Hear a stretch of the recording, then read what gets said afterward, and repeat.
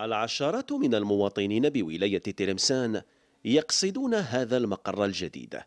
هنا مداومة ومكتب النائب الجديد في المجلس الشعبي الوطني الأستاذ الشاب رشيد دخلي. اول نائب اول نائب منتخب منتخب.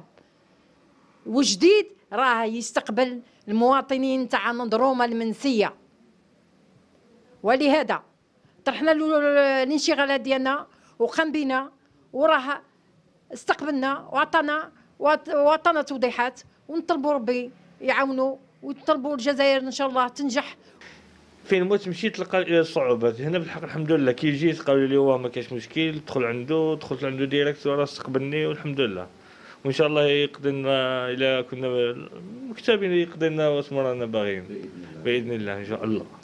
فلكل واحد منهم انشغال أو مشكل يود طرحه.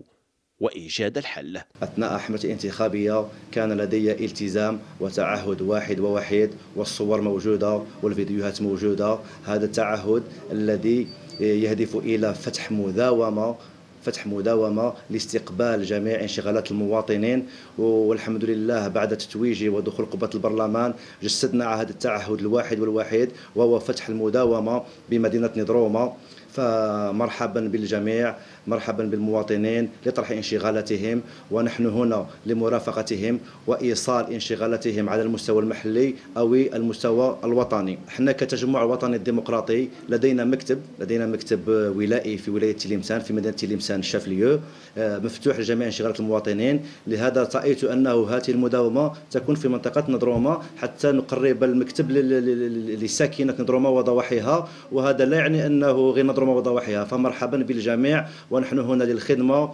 إن شاء الله بربي التعهد هذا يمشي بعيد إن شاء الله ونرافق المواطنين. وحنا الهدف نتاعنا الواحد والوحيد وهو إرجاع الثقه للشعب الجزائري. مكتب مفتوح طيلة العهدة الانتخابية. بعد الاستقبال يجتمع المناضلون لتدارك النقائص وتحقيق الأهداف.